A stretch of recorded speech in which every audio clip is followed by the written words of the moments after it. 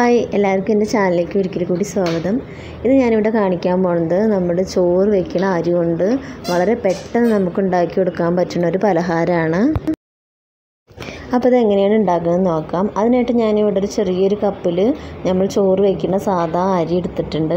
ആ അരി എടുത്തിട്ട് നമുക്ക് ഇഷ്ടമുള്ളത്ര അളവ് എടുക്കാം ആ ഞാൻ ഇത്ര എടുത്തിട്ടുള്ളൂ. അപ്പോൾ അതെടുത്ത് നന്നായിട്ട് ഒന്ന് ആദ്യം കഴുകുക. കഴുകിയതിന് ശേഷം ഒരു അഞ്ച് മിനിറ്റെങ്കിലും വെള്ളത്തിൽ സോക്ക് ചെയ്യാൻ വയ്ക്കുക അതൊന്ന് കുതിരാൻ വേണ്ടിയിട്ട് വയ്ക്കുക കുറച്ച് നേരമൊക്കെ വെച്ചാൽ മതി. അപ്പോൾ ഞാൻ അതിന് വേണ്ടിയിട്ട് അരി വറുക്കാൻ വേണ്ടിയിട്ടൊരു നോൺ സ്റ്റിക്കിന്റെ ഒരു പഴയ ഒരു പാനാണ് അടുപ്പത്ത് വെച്ചിട്ടുള്ളത്. ഇത് ഞാൻ തേങ്ങ ഒക്കെ വറുക്കാൻ ഉപയോഗിക്കുന്ന ഒരു പാനാണ് നമ്മൾ പുതിയ ഫ്രൈ പാനൊന്നും ഇതിന് വേണ്ടിയിട്ട് ഉപയോഗിക്കേണ്ട കാരണം ഫുൾ തീയിലാണ് ഇത് വറുത്തെടുക്കേണ്ടത്. അപ്പോൾ ഫുൾ തീ നമ്മൾ നോൺ സ്റ്റിക്ക് പാനൊക്കെ വെക്കുമ്പോൾ അതിനൊരു കേട് വരാൻ സാധ്യത ഉണ്ട് അല്ലെങ്കിൽ നമ്മൾ വറുക്കാൻ ഉപയോഗിക്കുന്ന പാനോ അല്ലെങ്കിൽ ചീനച്ചട്ടിയാണ് ഇതിന് വേണ്ടിയിട്ട് ഉപയോഗിക്കേണ്ടത്. അപ്പോൾ ഇതിങ്ങനെ നമ്മൾ കഴുകി വെച്ചിട്ട് കുതിർത്ത് വെച്ചിട്ടുള്ള അരി ഈ ചൂടായ പാനിലേക്ക് ഇട്ട് കൊടുത്ത് നന്നായിട്ട് ഇളക്കി കൊടുക്കുക. അപ്പോൾ ഇത് നന്നായിട്ട് ഇത് ഇളക്കി കൊടുക്കുമ്പോൾ ഇതിലുള്ള വെള്ളമൊക്കെ വറ്റി നന്നായിട്ട് ഇത് ഡ്രൈ ആയിട്ട് വരും. അരി ഒരു നല്ലൊരു വെളുത്ത കളർ കളറായിട്ട് ഇങ്ങനെ മാറി വരും. നമ്മൾ വറുക്കുന്നതനുസരിച്ച് അപ്പോൾ ഇത് ഇങ്ങനെ നന്നായിട്ട് ഇളക്കി കൊടുക്കുമ്പോൾ ഈ അരിയിൽ വെള്ളമൊക്കെ വറ്റി അരി ഒരു വെളുത്ത കളറായിട്ട് വരും. സത്യം പറയുകയാണെങ്കിൽ ഇതൊരു പാവപ്പെട്ട ആൾക്കാരുടെ ഒരു പലഹാരമാണ്. കാരണം പണ്ട് കാലത്തൊക്കെ എല്ലാവരുടെ വീട്ടിൽ ചോറ് വെക്കാൻ അരി കാണും കഞ്ഞിയൊക്കെ വെക്കാൻ അരി കാണും.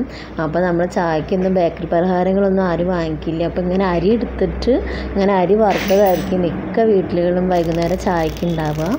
അപ്പോൾ എന്റെ വീട്ടിലൊക്കെ ഒരുപാടുണ്ടായിരുന്നു ഞാനൊക്കെ ഒരുപാട് എന്റെ കുട്ടിക്കാലത്ത് ഒരുപാട് കഴിച്ചിട്ടുണ്ടത് എന്നാലും ഇഷ്ടമാണ് അരി വറുത്തതെന്ന് പറഞ്ഞാൽ ഇഷ്ടമാണ് എല്ലാവർക്കും. അപ്പോൾ ഇതിങ്ങനെ നമ്മൾ വറുത്ത് വരുമ്പോൾ അരിയുടെ കളറൊക്കെ മാറി ഒരു ലൈറ്റ് ബ്രൗൺ ആവും.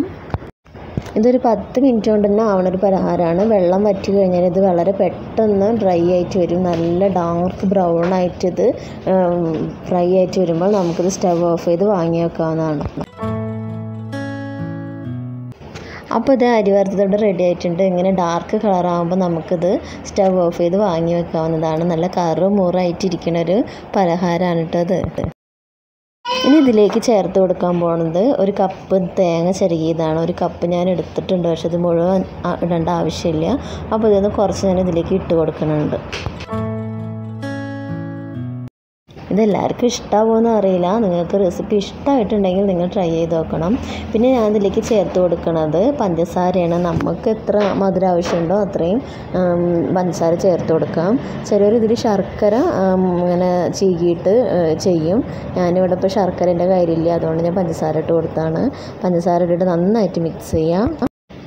അപ്പോൾ അതേ ഇതിവിടെ റെഡി ആയിട്ടുണ്ട്. അപ്പോൾ ഇതിന്റെ കൂടെ കട്ടൻ ചായയുടെ കൂടെ ബെസ്റ്റ് കോമ്പിനേഷനാണ് അരി വറുത്തത്. പിന്നെ ഞങ്ങളുടെ നാട്ടിലൊക്കെ പ്രസവിച്ച് കിടക്കുന്ന സമയത്ത് അങ്ങനെ വറുത്തതിന് ശേഷം ഇത് പൊടിച്ചിട്ട് തരാറുണ്ട്. നമ്മളെ ശരീര പുഷ്ടിക്കും വണ്ണം വെക്കാനൊക്കെ ഇത് ബെസ്റ്റ് സാധനമാണ്. കുട്ടികൾക്കൊക്കെ ഇങ്ങനെ ഉണ്ടാക്കി കൊടുക്കാം. അരി വറുത്തിട്ട് പൊടിച്ച് കൊടുക്കാം. അപ്പോൾ എന്റെ വീഡിയോ ഇഷ്ടമായിട്ടുണ്ടെങ്കിൽ ഒന്ന് സബ്സ്ക്രൈബ് ചെയ്തേക്കണേ.